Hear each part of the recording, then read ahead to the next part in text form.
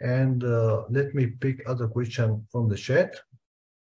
Could you uh, elaborate on consensus sequence for a single organism? Consensus or, or several organisms? Actually, no, there's no consensus sequence for one uh, organism.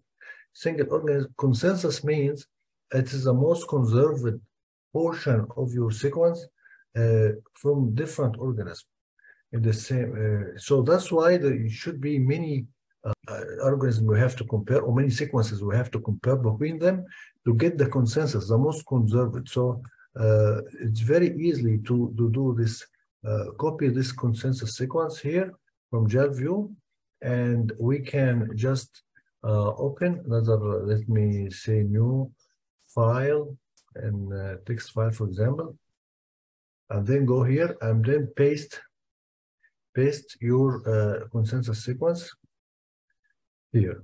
Here is a consensus sequence I just uh, extracted from Jalview. How we can, how I did this? It's very simple. Let me know. I will tell you how to. Uh, can you get demonstration with Shift and Control? Let me show, you something. Uh, uh, the the program itself, Jalview program, and then here is the consensus. Let me open the Jalview program for you. Then uh, I can go here in the consensus and right click, right click, right click, and then copy here, it's written copy consensus, copy consensus sequences, which is the last option from that menu. How we can get this uh, menu, right click uh, on the that, and then you can get, get this menu and the mouse and then get copy consensus sequence.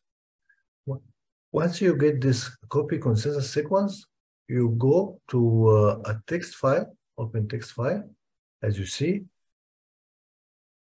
And then from that text file, you can paste it.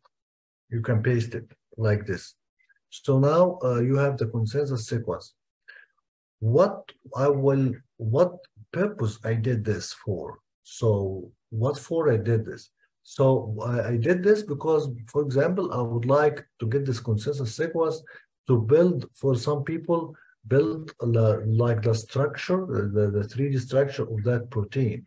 So I compared between different proteins, different uh, different version of that protein to get the consensus sequence to try to predict the secondary structure and also try to predict the 3D structure which I'm going to use it later on, for example, in docking and uh, in modeling and stuff like this.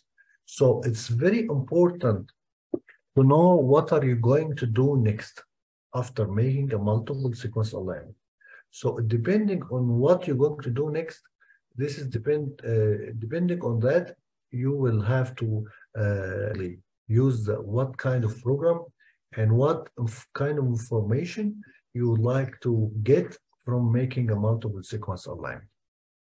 Uh, depending what you, so that's why, uh, as I said to you before, it's a very important key step uh, the, in, in bioinformatics. And based on that multiple sequence alignment you did, uh, based on this, uh, you will uh, you will know what what you will do next.